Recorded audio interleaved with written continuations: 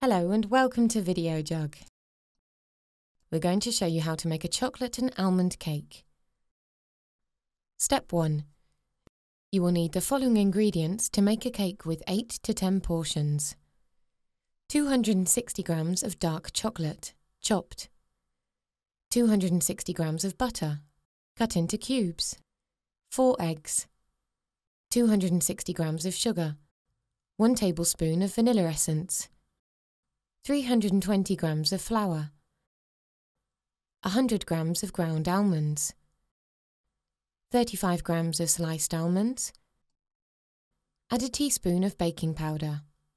Here is a handy list of the ingredients.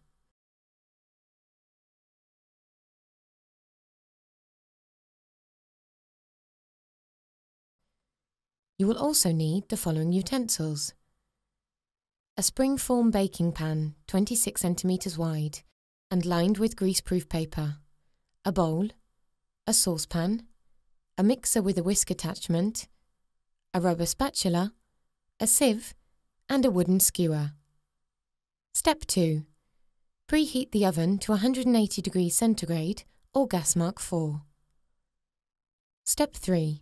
Melt the chocolate and butter.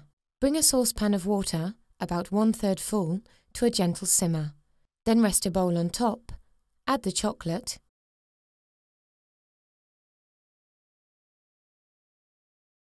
followed by the butter,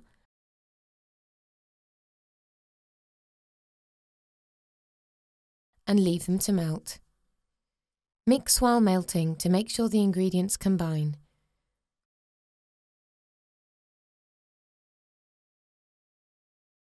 When they've melted completely, remove the bowl from the heat.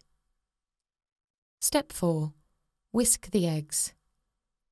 One by one, break the eggs into the mixing bowl, discarding the shells as you go along. Then add the sugar, followed by the vanilla, and whisk together at a high speed for about 3 minutes. When the egg mix has doubled in volume, stop whisking. Step 5. Fold the eggs into the chocolate. Pour the egg mixture into the chocolate and mix together thoroughly.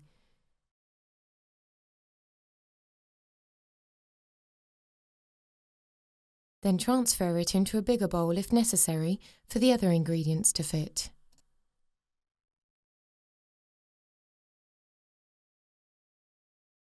Step 6. Add the remaining ingredients. First, sift in the flour, then the teaspoon of baking powder,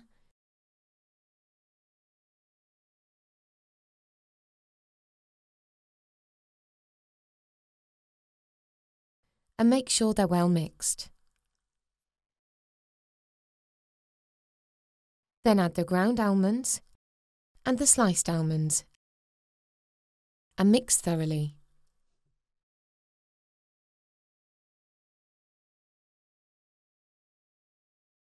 Step 7. Bake. Pour the mixture into the lined baking pan. Then place it on the central shelf in the oven and bake for 20 to 25 minutes. Step 8. Remove the cake. When the cake is ready, remove it from the oven and leave it to cool. Sprinkle a little icing sugar over the top for the finishing touch. And serve at room temperature with vanilla ice cream and a sprig of mint. And that's how to make chocolate almond cake the Videojug way.